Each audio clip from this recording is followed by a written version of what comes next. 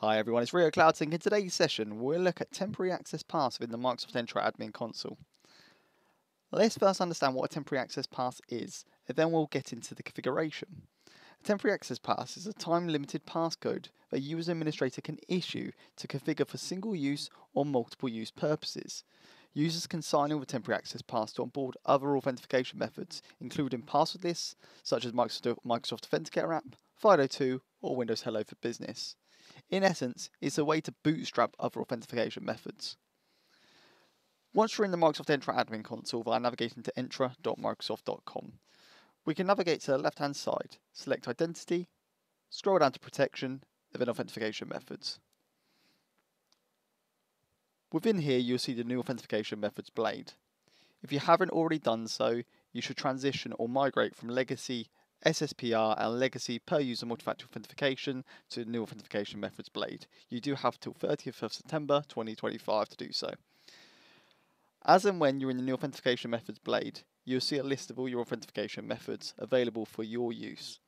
You'll see the target in terms of assignment, as well as if uh, the, the authentication methods are in an enabled state or a disabled state. In this session, we'll focus on temporary access pass. So if I was to select temporary access pass, you then have an option to either enable or disable the authentication method. In this, in this instance, we want to enable it, which it already is. You then have your assignment blade, which you can both include and exclude.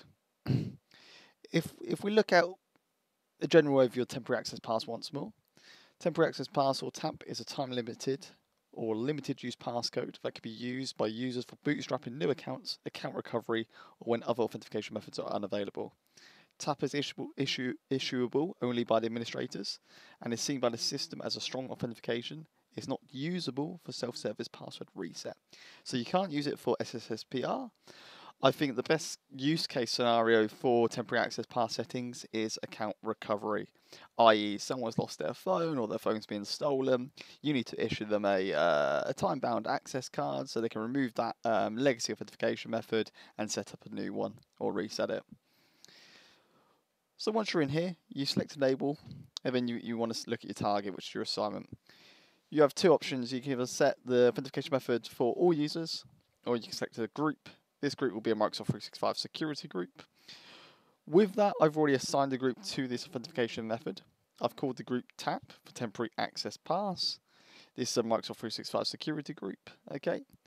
And within this group, um, my user resides, which is smiles at wcctechnicalpresales.onmicrosoft.com.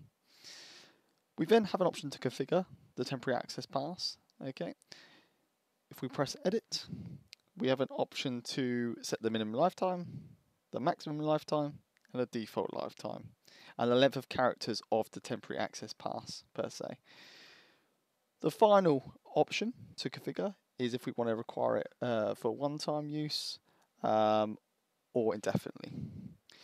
If you do require it for one-time use, the end user does have 10 minutes to use a temporary access pass. If you set it to no, and it's not required for one-time use, then you have an indefinite time to, to activate or use that temporary access pass. You do have to define between 10, 10 minutes to 30 days, okay, within the minimum and maximum lifetime. And this can vary from minutes, hours, and days. In this instance, we're going to keep everything uh, as is. We're going to set it to uh, we're going to set it to um, uh, be able to be used at all times, um, and then we're going to set update. With that, we want to press save. Now we've enabled the temporary access pass. We've uh, assigned it to a particular user within a Microsoft 365 security group, and we've also configured the temporary access pass for indefinite use. We've kept the default uh, variables uh, as is. And now we need to assign a temporary access pass to the user. So if we were to select users and go to all users, we can then type in the user, which in this case is Steve Miles.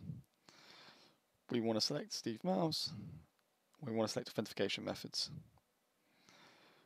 We can see that it's currently got an authentication method set up for Microsoft Authenticator, okay, on an iPhone 13 Pro. This is currently using number matching. So if I was to navigate to my other browser and I was to simulate me being the end user, I'm logged in as Steve Miles. I'm going to type in my password. It's now asking me to authenticate. However, say for example I've lost my phone or my phone's been stolen, I can't authenticate. Without having to disable multi-factor authentication, which is a security risk, we can issue this end user a temporary access pass to then go into their security info, and remove their security authentication method, and uh, re-establish a new one. So we'll just come out of here. We'll type in uh, portal.office.com. Okay, and once again, it's going to ask me. But if we go back to the um, Entra admin console, we can add an authentication method alongside our uh, number matching method for the Authenticator app. We can choose a method and we can select temporary access pass. And once again, we can set the, if we want to delay start time, maybe I want to issue it in the near future, maybe when the user starts, if it was a new starter, um, or maybe the following day. You know, so, someone's pre-warned you that they've lost their phone, but they, they, they're not working until the following Monday, and you can delay the start time for the temporary access pass. We can also set an activation duration, and once again, if we want it for a one-time use, I'm going to select add. This will issue me a temporary access pass, of which I need to copy the pass um, ID as well as the uh, URL, which is just navigating you to the uh, My Security Info um, page in, in terms of removing your authentication method and re-establishing a new one. You can see when it's valid from and valid until, and when the access pass was created. You can see there's a, there's a little policy tip to say remove lost devices from the user account. This is especially important for devices used for user authentication. So if I was to use this, um, if you do come out of this page, you will lose access to the pass. Okay, and that that leads me on to a good point in terms of roles. You do need to be a global administrator or privileged authentication uh, methods administrator to administer the roles. Global reader um, only has visibility over the authentication methods. Okay, it doesn't have visibility to create the uh, the methods. So I was to come back in here. Um, to navigate. It's going to ask me to enter my temporary access pass now. So if I was to copy, I can show the temporary access pass if I wanted to, and press next. And you can see it hasn't asked me for my password. And now it's signed me into the portal. And what I could do as an end user, I could provide them this URL as an admin.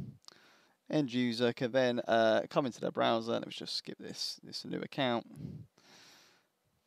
They can access the security info page.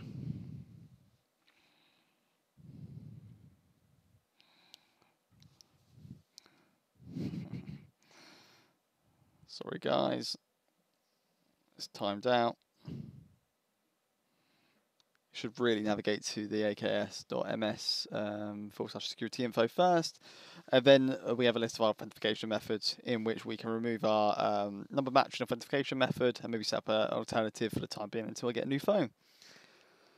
Um, only last thing to bear in mind in terms of limitations, um, as you've just seen in terms of um, session uh, token activity, um, as and when your session token, access token, or PRT token, so primary refresh token expires, um, so will your temporary access pass.